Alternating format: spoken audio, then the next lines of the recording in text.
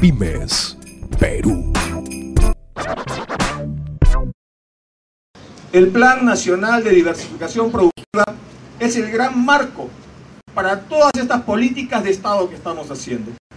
Las megaobras como Talar, como la línea 2 del metro, como el gasoducto del sur, son obras que tienen sentido cuando hablamos de que queremos crear condiciones objetivas para que siga creándose más industrias y creándose más desarrollo, más inversiones y además los planes que estamos haciendo en el desarrollo de capacidades. Hemos anunciado que vamos a iniciar la construcción de colegios de alto rendimiento que tengan bachillerato internacional.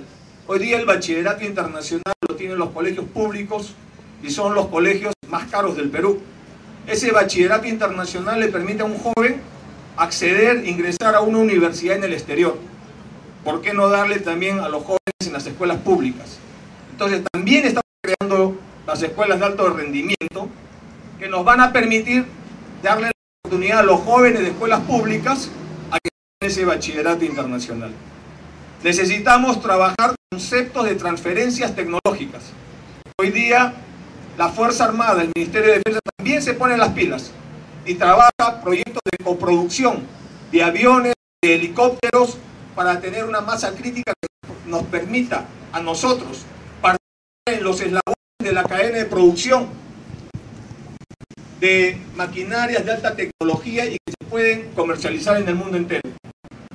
Asimismo, tenemos que seguir trabajando en el tema de la agricultura, la agroexportación.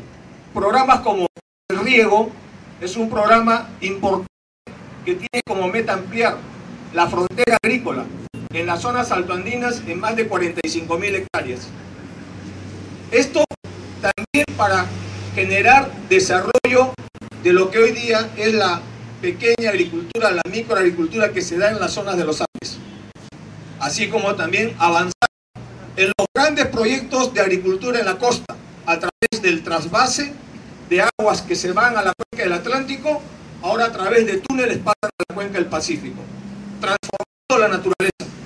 Por eso nos permite lo que vamos a hacer hoy día, ampliar la frontera agrícola en más de 140 mil hectáreas.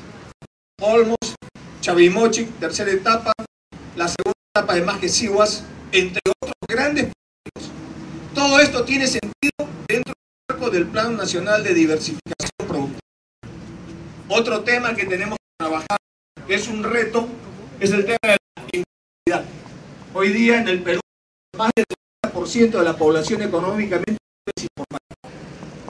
Es decir, un circuito económico muy fuerte, potente, que no pasa por, por el sistema que en muchos casos ni siquiera tributa, pero que mueve la economía. Hay que reconocerlo.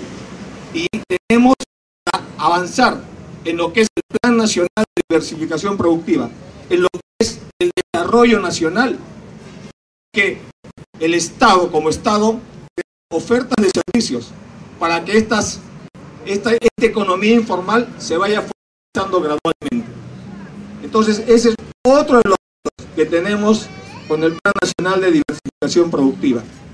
Necesitamos también trabajar lo que es la simplicidad del Estado.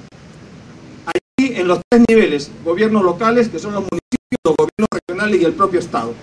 ¿Cuánto tiempo demoramos en colocar una empresa? ¿Cuánto tiempo nos demoran en darnos respuesta un gobierno regional o un ministerio?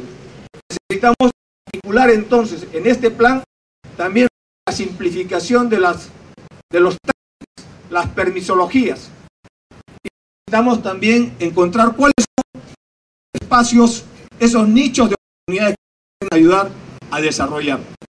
Tenemos que mirar también el reto de lo que es analizar las potencialidades que tiene cada sector de producción nacional y también el desarrollo de las grandes regiones del país. En el Perú hemos entrado en un proceso de descentralización, regionalización, pero hemos creado gobiernos regionales sobre los departamentos políticos administrativos tradicionales. Tenemos un gobierno regional, por ejemplo, en Tumbes, como también tenemos un gobierno regional en Loreto, como tenemos un gobierno regional en Tacna, otro en Moquegua, otro en... Pero todavía hemos avanzado en lo que es la formación de estos grandes bloques macroregionales. Por eso, el Plan Nacional de Diversificación Productiva también debe analizar esto, los grandes ejes del desarrollo que se pueden dar en la macro norte, la macro centro y la macro sur. Zonas macroregionales que tienen puertos importantes, que tienen recursos hídricos, que tienen infraestructura y vías de comunicación transversal al territorio, que permite una, articulación de un mercado, que tiene energía. Tenemos los fosfatos de Yobar, tenemos el gas en Cusco, tenemos gas en Piura, que tiene naturales. Tenemos día en la zona norte como en la zona, como en la zona sur. Es decir, tenemos las condiciones naturales, las condiciones objetivas de poder desarrollar proyectos en estas tres zonas del país, proyectos importantes. Que eso es un reto también de este Plan Nacional de Diversificación Productiva que lo pueda, pueda promover la inversión privada, podamos ir de la mano el sector privado y el sector público. Es decir, tenemos grandes oportunidades y no podemos dejar que nos pase el coche, no podemos dejar que se nos pase el combi. Así que desde hoy día tenemos que ponernos a trabajar para lograr capacitación, calificación de nuestros jóvenes. Ya hemos el gasoducto en la zona de Ica. Tenemos eh, en paralelo la región de Ica con su gas y las conexiones de gas doméstico. Cuando comenzamos la conexión de gas doméstico para que la población de Ica pague el gas, muchas veces 12, 15 soles, 10 soles el consumo de gas mensual, no teníamos los técnicos jóvenes que pudieran hacer conexiones de gas doméstico. Y tuvimos técnicos que vengan a hacer ese trabajo que pudieran hacer los jóvenes. Porque no nos hemos preocupado como Estado en capacitarlos. Hoy día estamos de manera eh, importante lo que es la capacitación de los jóvenes. Creemos nosotros que los programas de beca, creemos nosotros que la ley universitaria y tantos otros procesos educativos nos ayudarán a mejorar la calidad de la educación, la formación de técnicos de calidad y que entiendan que hoy día necesitamos profesionales como también necesitamos técnicos para ver la rueda de la producción nacional. Es por esto que creo que este nacional de diversificación productiva es un plan integral, multisectorial y de ámbito nacional, regional y local, donde se incluye al sector privado y al sector público.